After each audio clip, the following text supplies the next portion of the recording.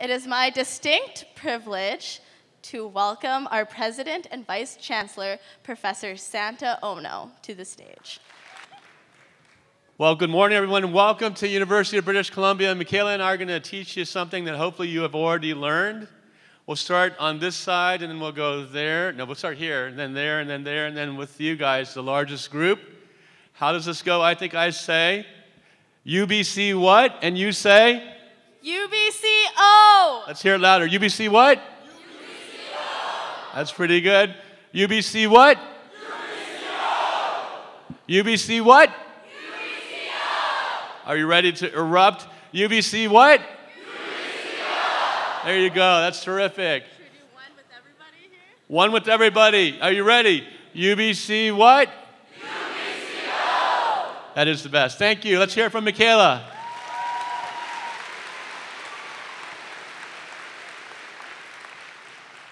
Well, welcome everyone. We have been waiting with great anticipation for your arrival. Congratulations. The class of 2022 or the class of 2023. Are you excited at being at university?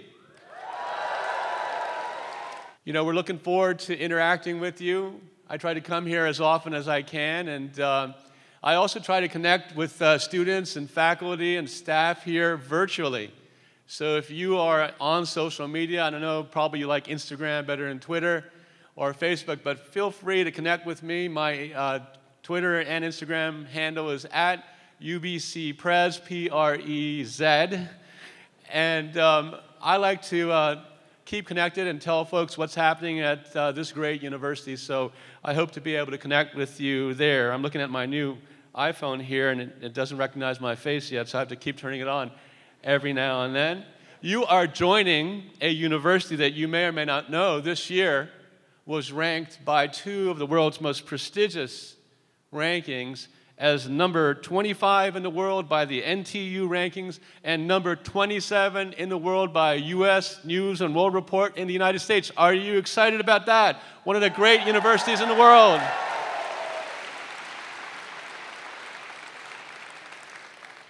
And it is a reflection of all of your accomplishments that you have been accepted at such a globally renowned university that has graduated three prime ministers, including the current Prime Minister Justin Trudeau, eight Nobel Prize winners, 65 Olympic medalists, including three current students that have medals. Isn't that pretty impressive? 65 Olympic medalists. 71 Rhodes Scholars, and 300 faculty members that are members of the world's most learned societies, such as the Royal Society of Canada and the U.S. National Academies of Science. There is so much to be proud of. I hope your parents and your grandparents are proud of you. We are proud of everything that you have accomplished that has earned you a place at one of the world's top 25 universities. Now, if you look around you, there's something else that we're very proud of. That is the diversity of this institution. If you look around you, you probably noticed that people come from all over the world, from all across Canada, every single province and territory. And that is something which I think will enrich and strengthen your experience. There are students from 150 countries at this university as we speak today. And by the way, we are considered as Canada's most international university. Isn't that great? Let's hear it for our diversity.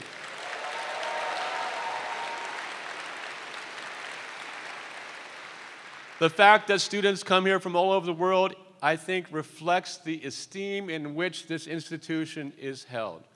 And I truly believe that the diversity that is actually represented here is one of the greatest things that you can take away with you after you are finished with your education, regardless of what faculty or school you are in. But to really capitalize on that diversity, it's really important that you do something active. And that is that you embrace fully inclusivity. That you take the difficult step to reach out to someone that looks different from you, that may be from a different corner of the globe, and you make the effort, even if it's difficult, to try to understand their perspective. It will broaden your horizons. It will make you a better global citizen. It is something that also requires that you embrace this community where respect for each other, for different points of view, is at the core of everything that we do. You see, although it might be hard when somebody has a different point of view, it is at the cornerstone of something that we call academic freedom. And you will broaden your horizons and you will understand other people better if you try to put yourselves in their shoes and try to understand their perspective. The world needs more global citizens. Now, you heard our motto, Tuum Est, and you heard about one of the definitions of Tuum Est, and that is, it is yours. This university, the outstanding faculty, the facilities, it's all yours. But there's a second meaning of Tuum Est that I want you to focus on today, and that is a different interpretation, which is it's up to you. And what we mean by that is it's, it's up to you what you do with this education on one of, one of the world's great universities. Let's focus on that second meaning. It's up to you. You know, I think it's something that you should do every time you wake up. You know, when you're there, even if you hadn't slept that long, when you're in front of the mirror, and ask that question. It's up to you. And you can ask yourself, it's up to me what I do with the education that I receive at UBC. Now, I hope the answer resonates with the vision of this institution. We're actually just had our strategic plan for the university endorsed by the Board of Governors and the Senate of the university. And it's called Shaping Our Next Century because we're entering our second century as a university.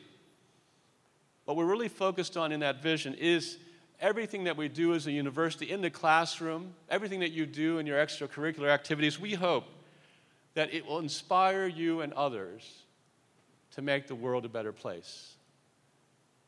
It's a very high bar that we've set for the faculty, students, and staff of, a, of this institution. But it's a bar, it's a vision that came from the students and the faculty and the staff and alumni of this institution. It's a bar that you've set for yourself.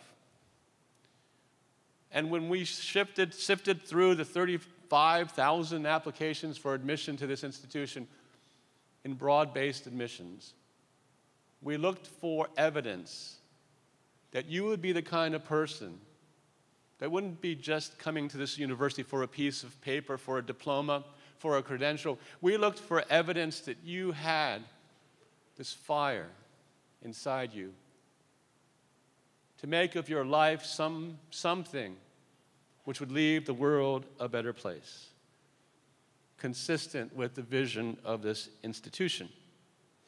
Now, I want to tell you about, um, I could tell you about hundreds, if not thousands, of people who've gone before you. And I've met students that have graduated from this campus, that have worked for the Prime Minister, who have worked for justices, who have graced the stages of theater and music around the world. There are thousands of examples in this very young campus of students that have preceded you, that are changing the world and making the world a better place. But today I want to focus on something a little bit different. I want to talk about women. I want to talk about women, two women in particular. Because you see, I'm going to be turning 56 years old this year. It's pretty ancient from your perspective. But the world has changed enormously since I was in your shoes in 1980 when I entered university. I want to tell you about two people. One of them is Bertha Wilson, and the other is Ruth Bader Ginsburg, or RBG, as they say. Some of you may know who these two are, some of you may not. But I hope after today that you will know who they are and why I hope they inspire you during your time here at UBC. These are two women that profoundly changed the world because of their work, because of their passion, because their courage and their bravery. Both of them served on the Supreme Court of Canada in the case of Bertha Wilson, and the United States in the case of Ruth Bader Ginsburg. She still serves at the age of 83.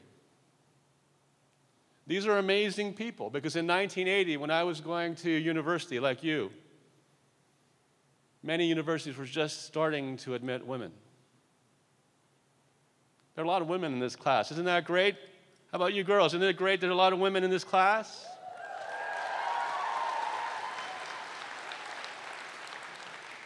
And it's not just around the world. If you actually look and look at the composites on the Vancouver campus, there are a lot of faculties that are almost primarily men. How this university has changed in just 40 years or so. Now, these two pioneers should inspire you for a number of reasons. They made the world better because they led the way when there was no role model before them. And they were great university students, and they applied to different law schools. And do you know what the deans of the law schools said? A bunch of deans here. They asked the question, they had the audacity to ask the question to these students that were the, among the top in their class after their undergraduate years tell us why we should give away a place to a deserving young man for you. In the 70s and 80s, that's the way things were in North America, in Canada, and the United States. Isn't it great how much the world has changed? And even after they graduated from Columbia University and the great universities of Canada, women had a hard time getting a job. In the case of Ruth Bader Ginsburg, she was the, one of the top five law students at Harvard Law and Columbia Law. And despite the fact that there are 57,000 lawyers in Manhattan, she couldn't get one job offer.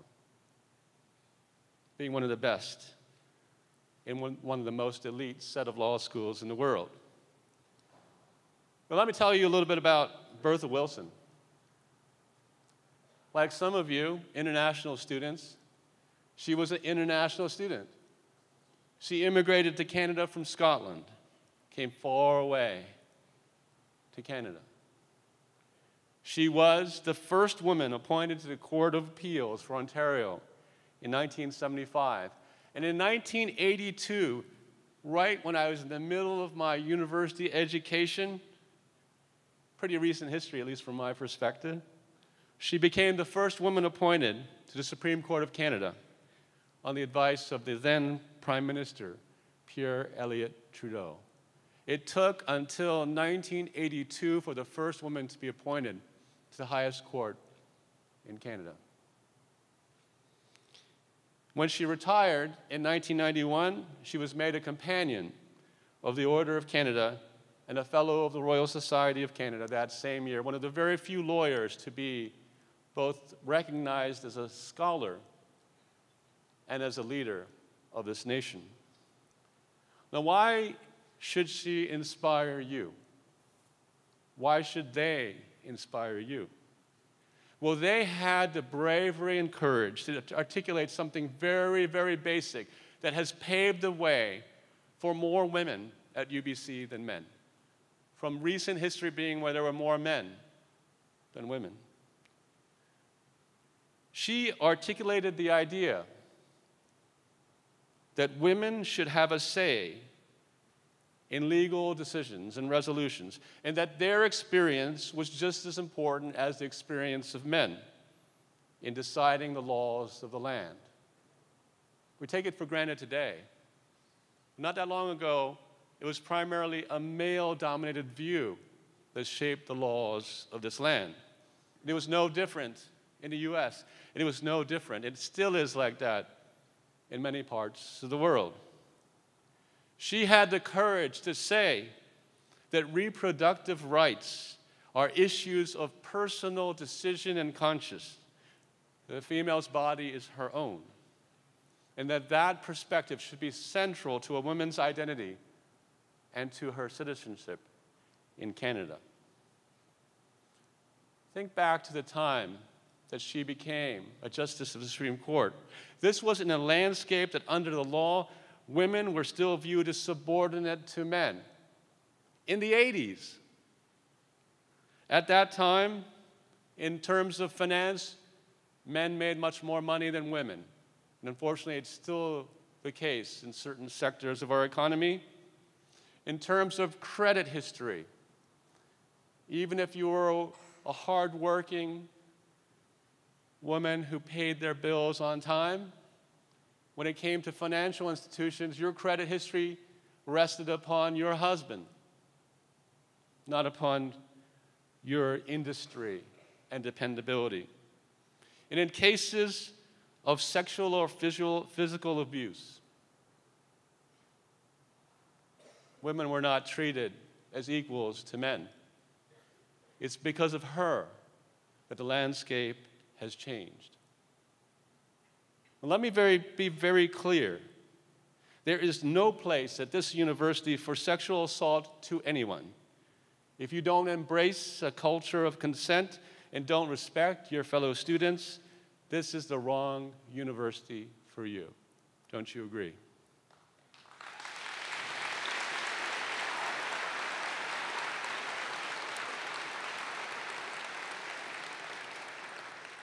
There are other things that uh, Bertha did. You know, back then in the 80s, it wasn't clear who had to hold the gold standard for protection of the liberties and rights of men and women. She said it should be given that the power and institutions that shape individual opportunities and liberties, that all of those institutions, public and private, should protect and ensure liberty as much, if not more, than it might threaten it. And it was because of her that she articulated that universities should also be held accountable for protecting equal opportunities for men and women. She had that role, Bertha Wilson.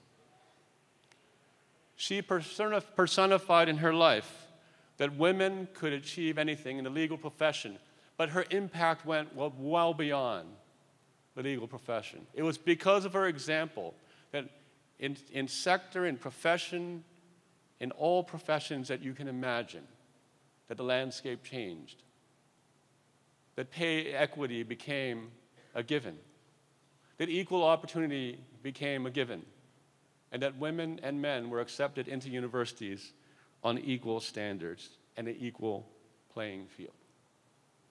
So, this is what I want to leave with you.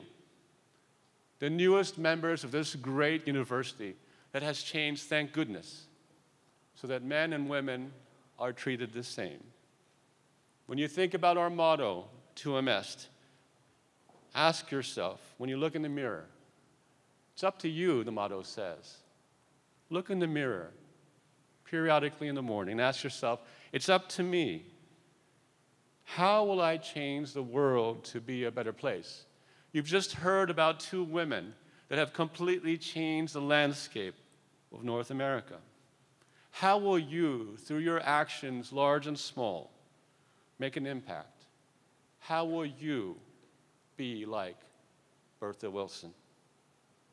You see, beyond what each of you accomplishes individually, beyond what you create for yourself this day forward, imagine a day. Imagine the impact that each of you together, collectively, the impact that you can make on making Canada and the world a better place. Now, some of you may be scared, but I ask you to remember something.